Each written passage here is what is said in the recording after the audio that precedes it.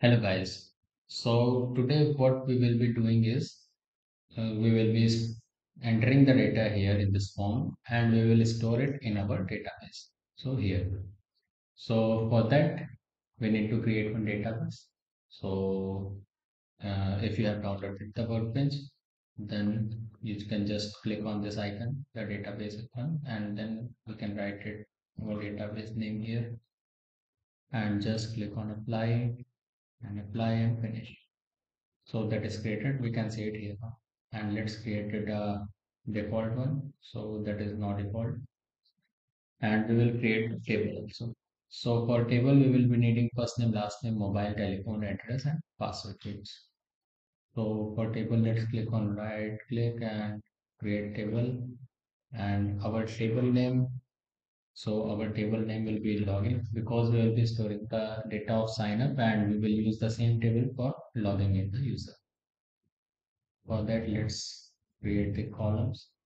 First one will be account ID. That should be of integer and auto increment. And then we will be having first name or write it like first name. That should be of like uh, let's take it of 100. And then last name. Last name will be also 100. And then we have first name, last name, and then mobile and telephone. So mobile, mobile, and then telephone, and then address. For address, we will take it of 200 character, and then we have password. Password will also be of uh, 100 let's and then confirm password. Let's take it also of 100 character. So we have uh, 1, 2, 3, 4, 5, 6, 7 fields. 1, 2, 3, 4, 5, 6, 7 fields, and then last will be of uh, let's say date time. We will take the timestamp here on which date the user has uh, done the sign up. So these will be fields and let's click on apply and apply. So our table is created successfully. We can just click on here and see the table. Uh, like this. Let's remove it. Don't say. So our table is here inside this.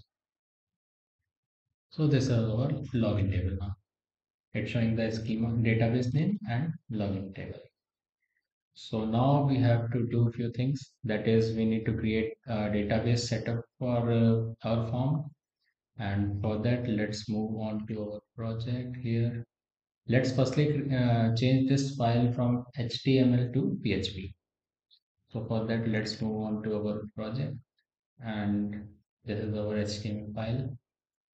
So just copy the content and paste it in new file and then save it as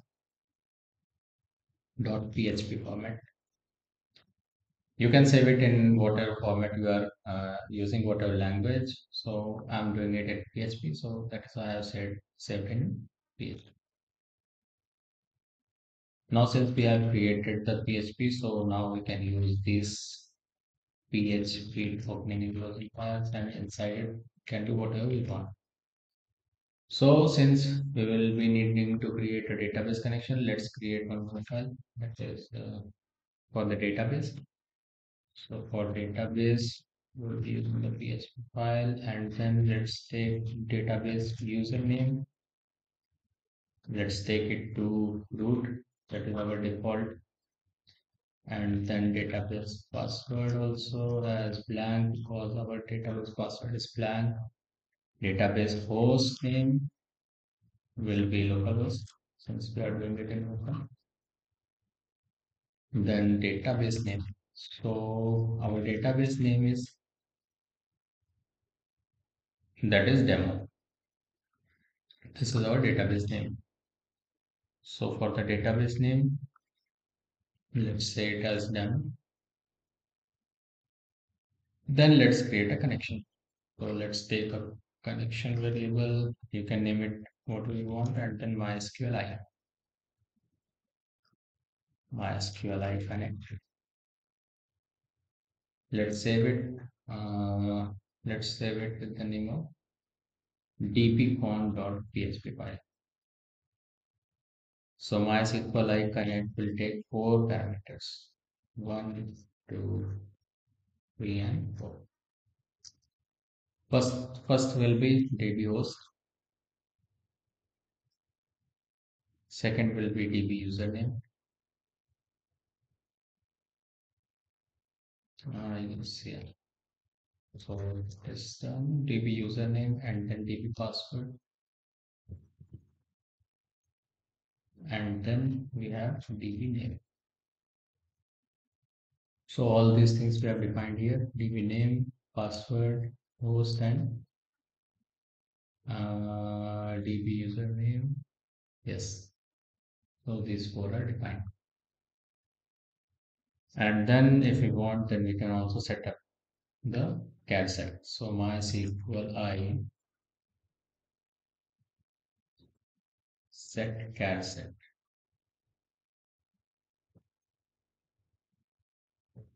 MySQL I set charset.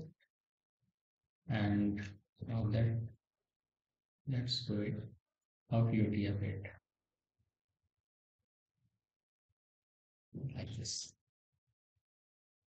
So our database file is also done. So now we will be using this file to enter our data. So we will just need to include this file wherever we want to fetch or insert any data in our database. So let's include this file. For inclusion, we will be writing like this. Just include and this will take our file name dbcon.php. This is the, the file name. So dbcon.php. And since we have written this file name now, so I guess uh, we won't be we won't be storing any data here because we will be uh, doing the post request. So for that, let's create a script file. Let's create a, Java, JavaScript and then we will do the storing process. So script type equals to JavaScript and then we will be using the jQuery. So we need to import the jQuery as well. So for this, let's move on to below our title. Let's move on to this jQuery get started. And from here, we will take the CDN thing so that we don't need to download it. We will just do this and jQuery is now imported in our project. Now we can use jQuery. So for that jQuery jQuery, jQuery. It's the syntax, so you need to learn it. Uh, by practicing, you will be it. So the function and then function we will be doing this and let's not semicolon. And for this, we will be doing form submit. So form submit is done like this. The form tag and then on submit. So on submit this will be done like this. Comma function here also.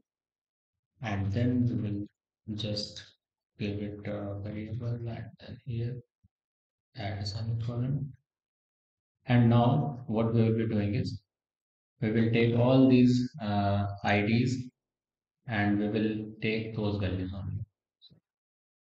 F name, last name, mobile, telephone, address, password and confirm password. That is 1, 2, 3, 4, 5, 6, 7 fields. So for the 7 fields, we will define 7 variables. So where then variable name equals to dollar of our ID. So dot This will be 7 times. So I'm just pressing Control Shift and D. 2, 3, 4, 5, 6, 7 and here also I'm just uh, clicking mouse click and with, with pressing control. 2 3 4 5 6 7 since I have copied all those seven IDs earlier so I'll just control D all those seven are here. Similarly for this, I'm just pressing control D, so it will select the same syntax which I have selected once and then control D. So that is done for all the seven fields. Now we will, since we have done this thing, now we will be doing the post request. For post request, we only need to write it like this dollar dot post. And then dollar dot post, we need to write a path that uh, which file will be responsible for uh, inserting our data. So here we need to write it like this. So demo, that is our project folder, that is this, this place. And inside this, we will create one file that should be named as store.php. And then we will take few parameters, not function. Inside this, uh, no, no. Yes. Now we will take the key value pairs. So first name or just copy all these seven. I think that should be copied. Yes. Those are already copied. So I will just take this and then with colon we'll just doing this.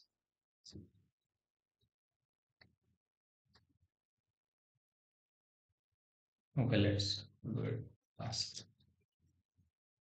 That is done. And now let's pass those variables which we have taken have a progress. This side, uh, on the right side, we have those variables which we have taken uh, taken here, and this will be used on this file store.php. So these keys will be used to fetch the values. So that is done, and then let's do the form something, and then data. So whatever response we will get, that should be written here. So just simple alert and inside alert we will do data. Uh, data. Yeah, so that is done. So what it will do is it will take every variable which we have defined for our input fields or number fields and it will take that variable's value and will insert it in this and then we will be passing the value to these variables which will be used in this file. So now since we have done all this, let's create one more file and name it as store.php. Let's save it first. Store.php. Now for that, we need to do the PHP opening and closing tags. And we need to include our, our database file that is responsible for making connections. So that is dbcon.php. dbcon.php. And now we will take all those keys. So the keys are here. Two, three, four, five, six, and seven. So we will take all these seven keys and we will just do it like this. Paste. And then we will do like dollar in front of all this because we are using PHP so we use our dollar for taking the variables. And then for these variables we will this we will be using dollar underscore post because we use we use post method for forms so that is also done and semicolon. And since in our database, we are taking one date time field that is additional one. So let's take it as date time. This side, uh, these variables can be any. So we don't need to take the same variable which we are defining here. So you can see we have here we have first name and I have taken admin. So that doesn't matter and that won't create any problem.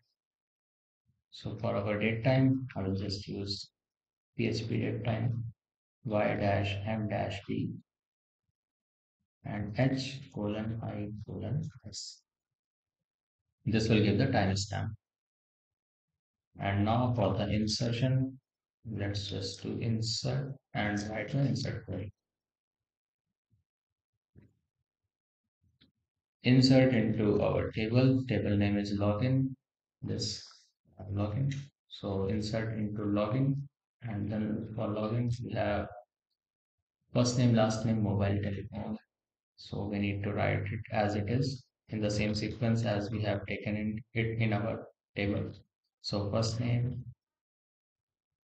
last name, and then we have mobile and telephone address and then password and password.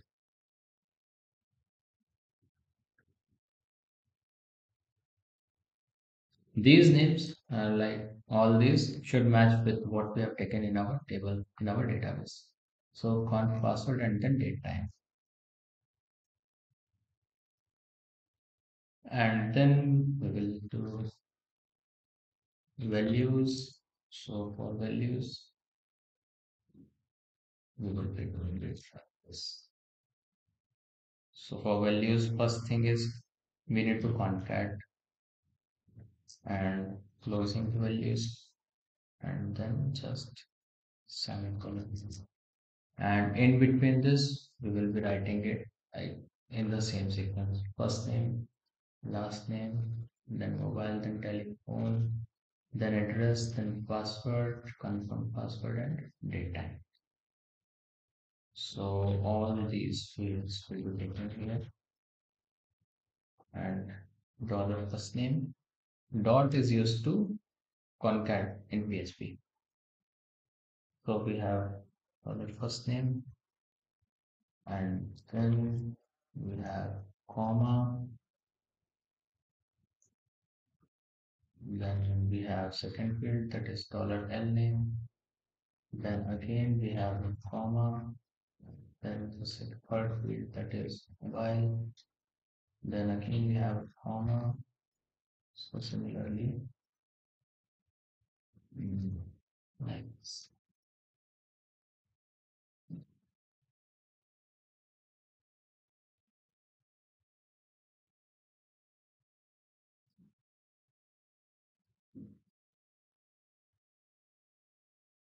That might be a confusing one but uh, we need to do it like this. Or there is one more way.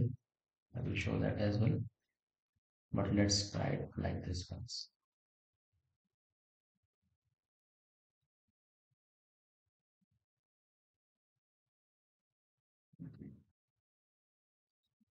So that is done and since we need to insert it as well so we need to write it like this. Mysql i query and in this query we will write the dollar con. This dollar con should be the same variable which we have defined here dollar con. So you need to take care of this. So dollar con and then the dollar insert. Insert is this variable. So it will do the connection and insert our this query. So that is done i guess and now if we just say echo and then success. So whatever we will write here we will just get that in our data and that should get alerted. And since we are doing the form submit so we need to add the form tags here also. For that we need to choose it uh, somewhere like inside this I'll just close this tab. And here we can take form opening and close so that is that we have a form. And also one more thing. That is since we are doing form submit so this won't work this button because it's of input type equals button. So for uh, submitting using this button we need to write and hash of submit and then on click. So we need to write it like that. But since currently we are doing form submit so let's copy that and comment the initial one. And there is one more way to define button which I have already told. But we will take it here as just input type equals to submit. And uh, that should be all same. Now let's move on to our project and click on refresh. Since it's an HTML and we have written all the code in first.php, so let's replace it with first.php and press enter. You can see there is no change. Let's also uh, open our console so that in case, yeah, so we have one error like this. First name.php line 67 unexpected identifier L name line 67 Yes, th this is a genuine problem because we haven't added a comma. Now, if we save and refresh, yeah, that error is gone. So now, uh, if I enter the data here, so like my name and any number other nine and four address and then password is just one two three four five six. And for confirm password one two five six. Now if i press enter so that has thrown error. Unexpected double quoted syntax string for store.php so that has thrown the error for store.php okay. Uh, not needed for now. So for store.php let's move on to our store.php Uh, let's take it in a simple manner. Oh, that should be like this. Just to add this and this and let's take the values and for the values we will be taking a single quotes for all of this. No need for concatenation anymore. First name. And similarly last name. Mobile. Telephone. Address. Telephone password. And data I guess this should work. If I write name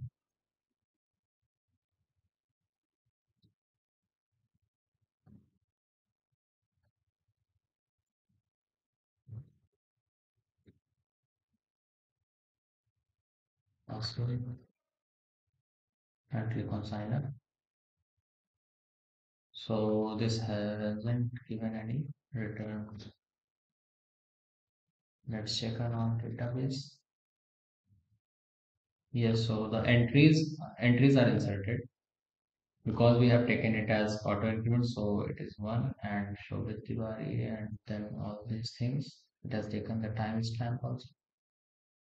But it didn't return anything. Okay let's leave it for now and we will debug it and we will we will surely get to know that why it hasn't shown this. I i think uh, since our store method has done this work so after that it has surely returned. And uh, this must not be executed. So that is why it hasn't returned anything. So since you can see we have just created a form sign up form and we have entered the information here and we are able to see it here. So with the help of core php we have done all this. You can use any framework like like uh, laravel or uh, with the help of django if you want to then you can just do the django. So that's done. So thank you guys and if you like my video please hit the subscribe button and press the like button as well and uh, please share it with, my, with your friends. Thank you guys. Bye